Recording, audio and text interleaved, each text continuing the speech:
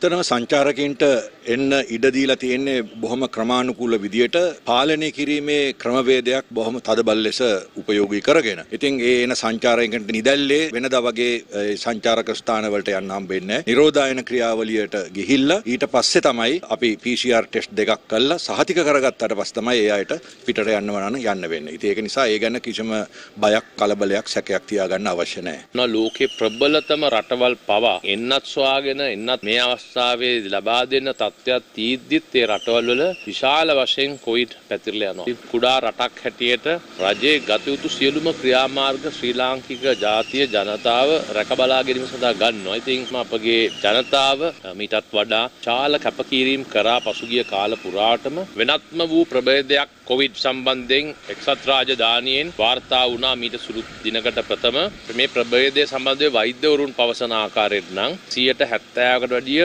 පසුගිය වතාවට වැඩිය ශීඝ්‍ර ලෙස පැතිරෙනවා කියන එකයි වෛද්‍යවරු කියන්නේ. ඉතින් අපි සම්පූර්ණ ගත යුතු සියලුම ක්‍රියාමාර්ග අරන් තිබෙනවා. මේ වන විට කෙසේ හෝ මෙම ප්‍රවේදය ශ්‍රී ලංකාවට ඇතුළු වීම වළක්වා ගැනීම සඳහා ගත යුතු සියලුම ක්‍රියාමාර්ග තමයි ආකාරයෙන් අරන් තියෙන්නේ. ගුවන් යානාවල පැමිණි ගුවන් නියමුවන් පවා වෙනම හෝටලයක නිරෝධායන කිරීමට අපි කටයුතු කරලා තිබෙනවා. බලාපොරොත්තු වෙනවා හැකිතාක් දුරට කෙසේ හෝ මේ ප්‍රභේදය ලංකාව තුරට ඇතුළු වීම වැලැක්වීම සඳහා. යුද හමුදාපති ජෙනරල් ශවේන්ද්‍ර සිල්වා මහතා මල්වතු මහාවිහාරය වෙත ගොස් මල්වතු පාර්ශ්වයේ අනුනායක අතිපුච්ච දිමුල් කුමරේ විමලධම්ම නාහිමියන් බැහැතක ආශිර්වාද ලබා ගත්තා.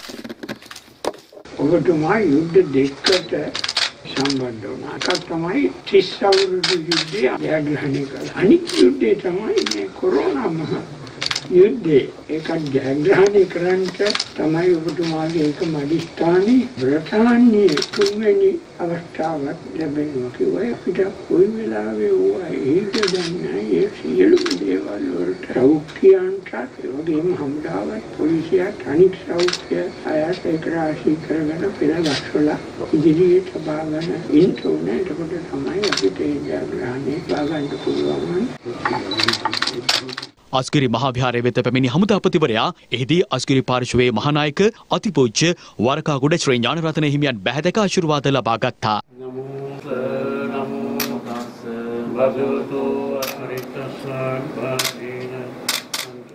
මේ අතර යුද හමුදාපතිවරයා අස්ගිරි පාර්ශවයේ අනුනායක අතිපූජ්‍ය වෙනුරුවේ උපාලිනා හිමියන්ද බැහැදක ආශිර්වාද ලබා ගත්තා.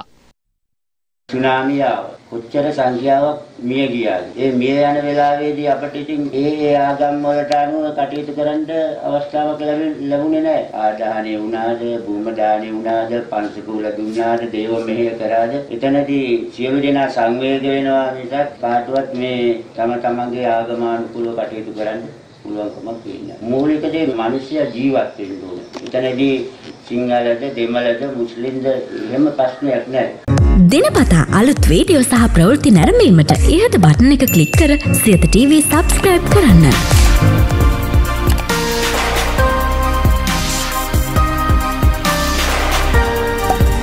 අලුත් වීඩියෝ ගැන මුලින්ම දැනගන්න මෙම සීනුව කලික් කරන්න.